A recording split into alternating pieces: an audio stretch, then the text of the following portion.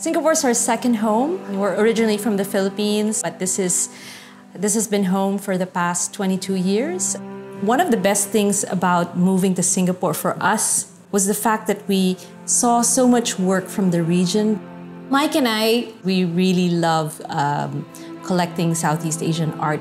What's interesting about Southeast Asian art is that it really incorporates a lot of local issues and narratives. So, for instance, um, this is a region where spirituality and religion really are important to the people.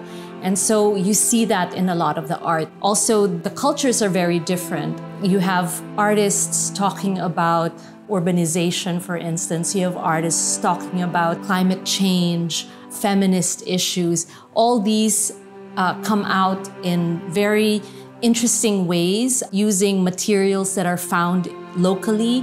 Um, uh, there's a lot of uh, art that makes use of found objects, art that uses materials like rattan and bamboo, which are indigenous to this region. People are, are finding that Southeast Asian art has a, a dynamic breadth and really talks about important things that are reflective of the contemporary societies in this region.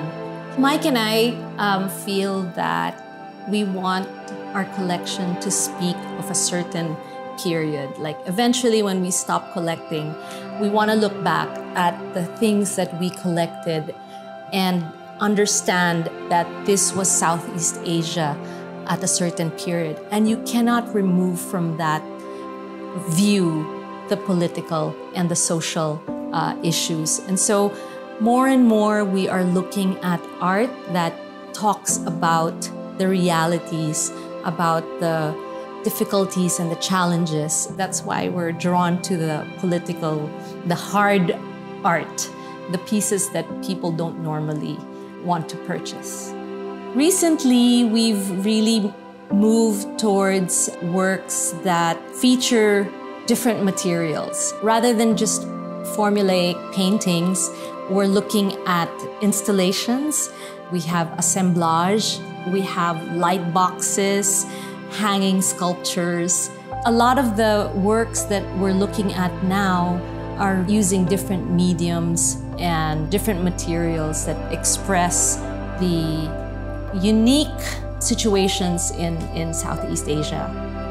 What I like is that pieces in our collection sort of converse with each other. There are commonalities which draw from, from obviously the, the common culture shared um, in the region, but there are enough differences that enable us to say, okay, this, this particular work represents the context in Cambodia.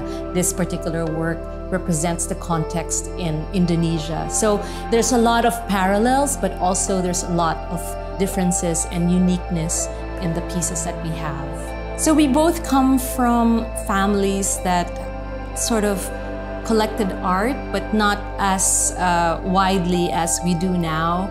Over time, our tastes changed, and the works that we collect now are I think, far more edgier than when we first started. And so it just demonstrates, you know, the, the growth that we've encountered or we've had throughout our, our collecting